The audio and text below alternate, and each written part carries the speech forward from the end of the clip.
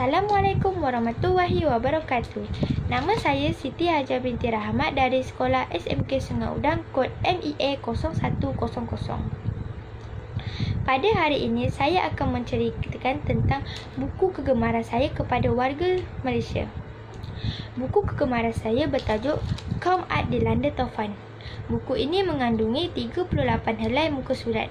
Buku ini diterbitkan pada tahun 2008. Buku ini juga ditulis oleh Rahimah binti Rahim. Buku ini dapat memberi pengajaran kepada kita semua.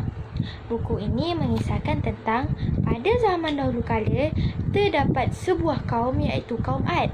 Mereka tinggal di semenanjung Arab iaitu di Al-Ahqab. Mereka ini dikategorikan sebagai kaum yang tertua selepas kaum Nabi Nuh alaihi wasallam.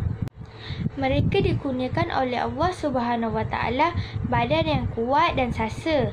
Mereka juga dikurniakan oleh Allah Subhanahu Wa Taala tanaman yang segar, mendapat air dari pelbagai penjuru. Sehingga kan mereka mendapat hasil tanaman yang melimpah ruah. Mereka juga dikategorikan sebagai kaum yang terkaya berbanding kaum-kaum yang lain. Mereka namun mereka tidak bersyukur. Mereka tidak beriman kepada Allah Subhanahu Wa Taala. Malah mereka menyembah berhala-berhala yang dibuat oleh mereka sendiri. Mereka tidak taat kepada Allah Subhanahu Wa Taala. Mereka juga tidak mempunyai akhlak yang mulia. Oleh itu Allah Subhanahu Wa Taala mengutuskan Nabi Hud untuk mengajak kaum Ad ke jalan yang benar. Nabi Hud juga berasal dari kaum Ad tersebut.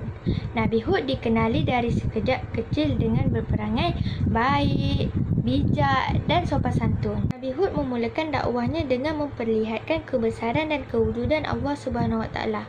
Baginda menyeru kepada kaum Ad untuk beriman kepada Allah Subhanahu Wa Taala. Tetapi kaum Ad menolak dengan mentah-mentah dan mal- dan makin angkuh dan sombong. Satu hari Allah Subhanahu Wa Taala menurunkan kemarau yang panjang kepada kaum Ad sehingga tanaman dan ternakan mereka musnah. Nabi Hud berkata itu adalah amaran. Baginda menyeru supaya kaum Ad bertaubat dengan segera. Hari, kaum Ad melihat gumpalan awan hitam sedang bergerak di atas langit. Mereka berasa gembira kerana menyangka itu adalah hujan. Namun, gumpalan awan hitam itu bukannya membawa hujan, malah membawa kemusnahan dan kehancuran kepada kaum Ad. Tiba-tiba, terjadilah taufan yang sangat kencang.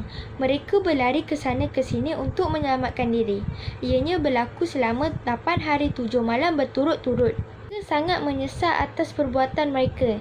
Tetapi semuanya telah terambat. Mereka mati bersama berhala-berhala dan kekayaan mereka.